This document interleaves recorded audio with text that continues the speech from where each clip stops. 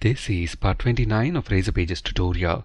In this video, we'll discuss how to configure and use SQL Server along with Entity Framework Core in Razor Pages project. One of the very important classes in Entity Framework Core is the DB context class. This is the class that we use in our application code to interact with the underlying database, in our case with a SQL Server database. It is this class that manages the database connection and is used to retrieve and save data in the database. To use the DB context class in our project, we create a custom class and make it derive from the Entity Framework Core built-in DB context class. If you remember, our data access services are present in this services project. So to this project, we want to add a new class file. We can name our class anything we want. I'm going to name this app db context. Include the public access modifier to make this class the DB context class, inherit from the Entity Framework Core built-in DB context class. This class is present in Microsoft.Entity Framework Core namespace. So let's bring that in.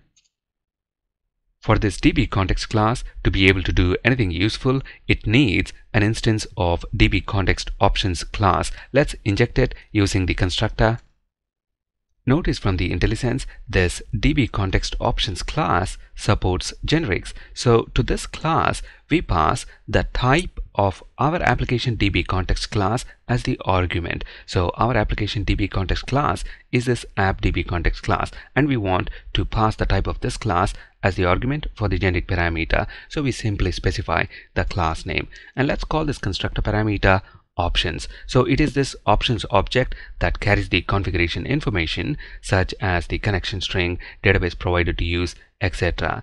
Now all we are going to do with this options object is pass it on to the base class constructor that is to this base db context class and we do that by using the base keyword and then to this pass the options.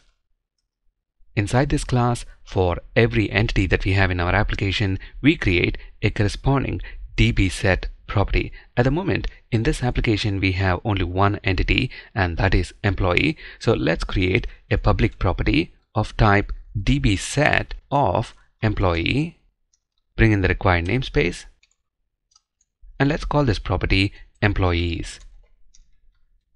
It is this employees property that we will be using to query and save instances of the employee class. The LINQ queries that we write against this property will be translated into the corresponding SQL queries against the underlying database. We'll see this in action in our upcoming videos. Next, we need to configure the database connection string.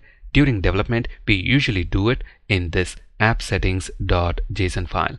In this file, let's include a section for connection strings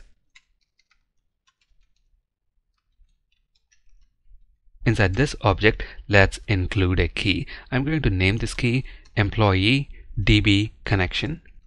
You can give this any name we want and then we specify the connection string itself. With this application, we are going to use SQL Server Local DB, which is automatically installed along with Visual Studio. If you want to use a full-blown SQL Server instead, all you have to do is change the connection string here to point to your instance of SQL Server. That's it. You don't have to change anything else. With SQL Server Local DB, we specify the server like this. Within parentheses, local DB, and then two backslashes because we need to escape one of the backslash, and then MS SQL local DB. Next, we specify the database using the database keyword. Let's call our database HRDB. Finally, how we want to connect to SQL Server. We are going to use Windows authentication. So we specify integrated security equals true. This completes connection string configuration. Next, we need to tell ASP.NET Core to use this app DB context class. We do that in configure services method of the startup class.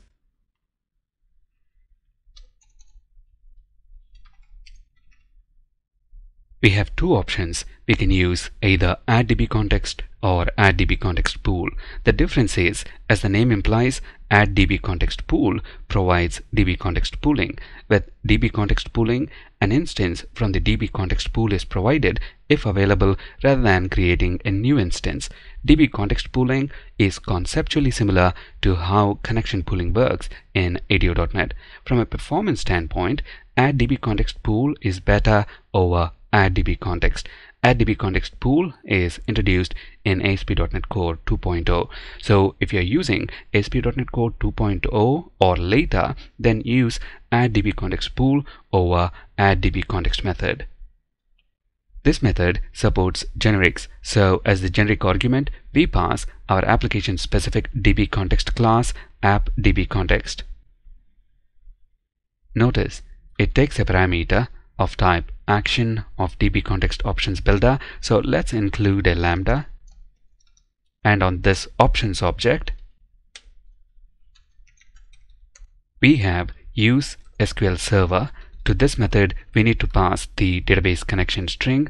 This method is in Microsoft.Entity Framework Core namespace.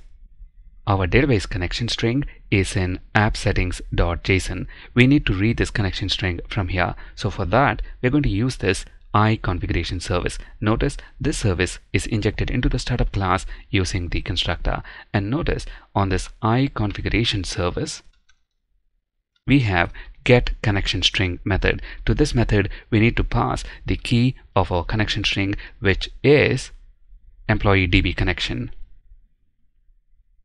At the moment, our application is still using this mock employee repository service, which is an in-memory collection of employees.